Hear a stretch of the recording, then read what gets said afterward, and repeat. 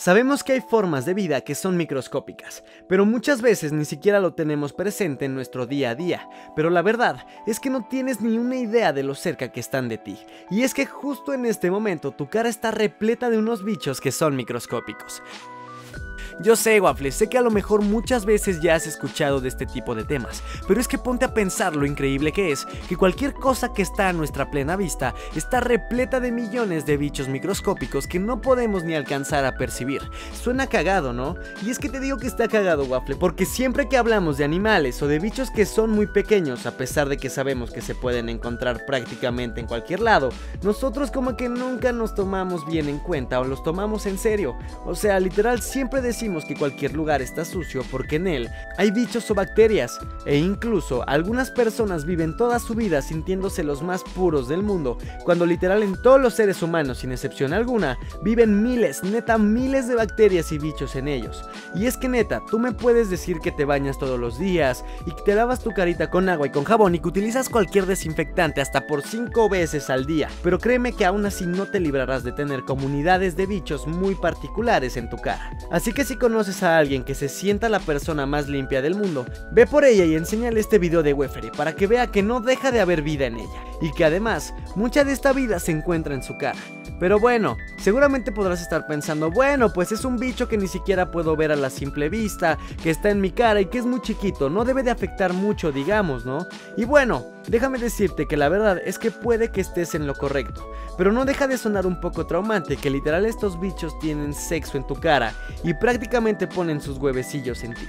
O sea, literal en este momento podrían estar naciendo algunos cientos de miles de nuevos bichitos en tu cara y tú ni siquiera lo notas. Y bueno, la verdad es que son algo descarados porque mientras tú duermes y piensas que todo está en calma, literal estos amiguitos aprovechan para hacer fiestas locas donde terminan teniendo sexo entre todos en tu cara. Y pues bueno, mira, el lado bueno de esto, Waffle, es que a lo mejor tú puedes ser el padrino de algunos de esos bebés bichillos que nacen en tu cara. Bueno, está bien, Waffles, igual y no hacen tanto desmadre en tu cara, pero sí es verdad que mientras tú duermes, ellos aprovechan que todo está muy tranquilo para parearse. Además de que se alimentan de ti todo el tiempo. No sé, Waffle, suena medio loco que mientras nosotros nos las pasamos por ahí viendo videos de Wefere, literal hay comunidades de bichos en nuestra cara que no saben ni siquiera en dónde diablos están.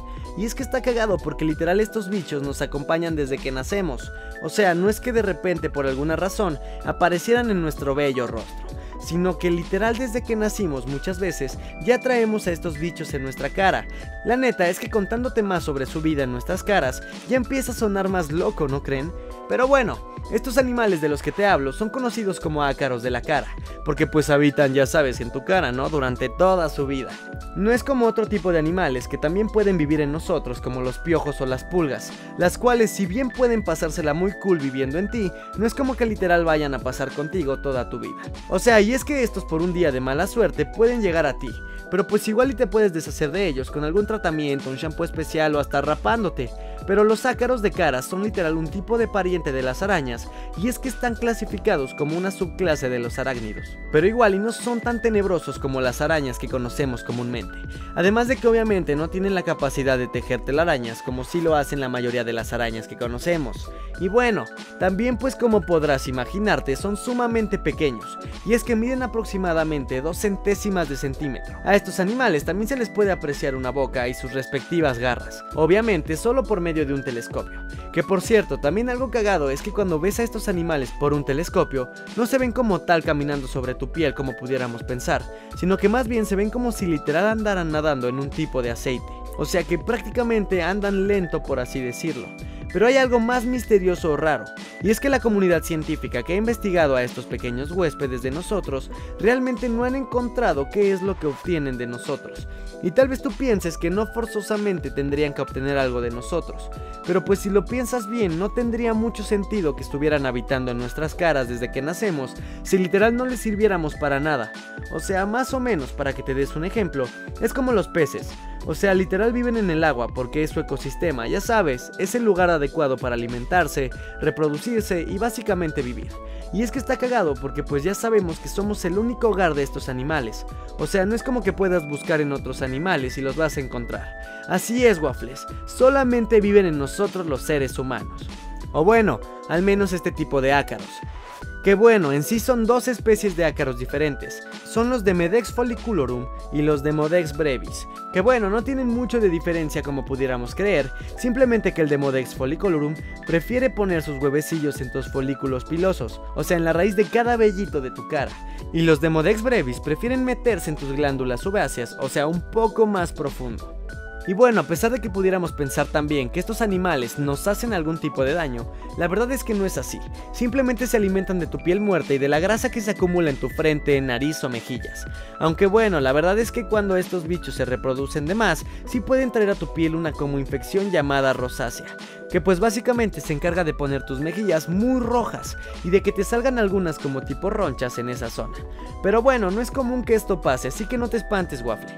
Y solamente como dato curioso, estos animales sí que nos han aportado algo muy cool a nosotros. Y es que estos animales nos han acompañado desde literal hace unos 20.000 años y además nos arrojan muchas evidencias sobre nuestro paso por el planeta, ya que digamos que nuestros pequeños acompañantes literal son considerablemente diferentes según las regiones geográficas, y esto nos arrojó información sobre cómo los humanos han emigrado a diferentes partes del mundo. También se cree que todo el tiempo que nos han acompañado en nuestras caras es muy probable que hayan provocado algún cambio en nuestro sistema inmunológico, aunque bueno, esto sigue siendo una teoría nada más. Así que ya lo sabes, Waffle, al parecer estos bichos resultaron tener mucho más de interesante de lo que creías. Y no te preocupes por si piensas que también hacen sus necesidades en tu cara. La verdad es que eso aún no está comprobado, ya que estos bichos no cuentan con un ano, así que su proceso de digestión es completamente un misterio.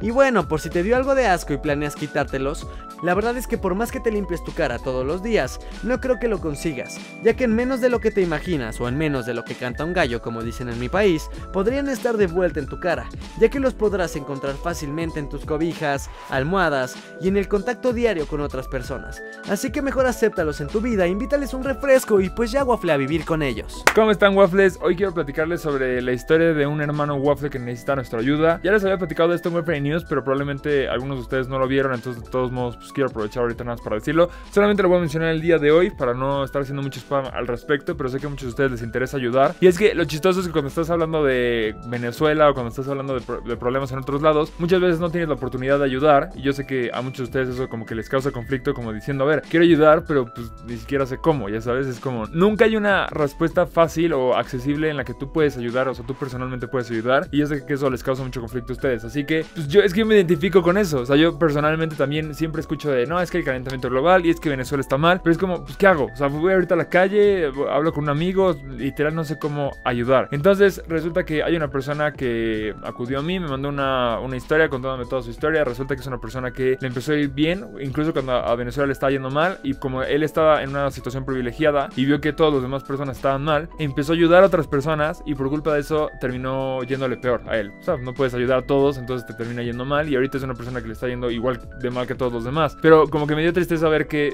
él, en, eh, estando privilegiado, pudo ay ayudar a otras personas y por culpa de eso le fue mal. O sea, como que le fue, no sé, fue, es lo contrario de cómo funciona el karma. Generalmente te va mal o debería de irte mal cuando tú eres malo, pero esta persona le fue mal por ser bueno. Entonces es por eso que creo que ahora sí el karma está haciendo el efecto correcto y por eso decidí abrir un lugar para que podamos hacerle donaciones y poderlo ayudar. Eh, si no quieres donarle y nada más quieres ver el video, te dejo un link en la descripción. Es un video en el que explico un poquito más sobre él y es básicamente lo que estoy haciendo ahorita, pero un poquito más detallado. Y digo, si nada más quieres, este, te digo, ver el video y ya, y si no quieres ayudar, pues, digo, igual ayuda como que la difusión y el, y el ver que hay gente interesada en verlo. O bueno, también se puede meter a webfere.com y arriba a la derecha hay un lugar donde dice donar o donación o algo así, junto a merch, que merch puedes ir a comprar ropa, digo, ahí, te la dejo. Y nada, entra, ve, este, ve cómo está la situación de esta persona y cómo ha sido su vida y si quieres ayudar puedes donar. Ahora, las donaciones son por PayPal, yo no voy a ganar ni un peso de esto, ni un dólar, ni nada. O sea, yo literal, todo el dinero que entra ahí lo voy a, se lo voy a dar directamente a esta persona durante el tiempo que esté activo. Luego es difícil donar las, las ganancias de un video, porque como el dinero sigue generando después de varios meses, es difícil. Pero esto está muy fácil, lo voy a abrir durante cierto tiempo y en el momento que se cierre, voy a hacer un video dando todo el dinero a esta persona y listo. O sea, eso, va a ser todo el deal. Creo que va a ser una o dos semanas que va a estar abierto esto. Entonces, si estás viendo esto y no han pasado dos semanas, todavía puedes ir a participar. Y nada, solamente te invito a eso. O sea, sé que ustedes como Waffles, casi siempre la relación creen que es entre ustedes y yo. Creen que son ustedes Waffles y yo Wefere. Pero hay veces en las que también vean entre ustedes cómo son. O sea, yo nada más soy como que el que sale en la pantalla, pero realmente lo que hace el canal son ustedes. Entonces, véanse entre ustedes y ayúdense entre ustedes. Yo solamente soy la voz. Entonces, nada, nos vemos en el próximo video. Cuídense, lávense la cara. Ah, no, no estamos en Wi-Fi News, solamente cuídense. Bye.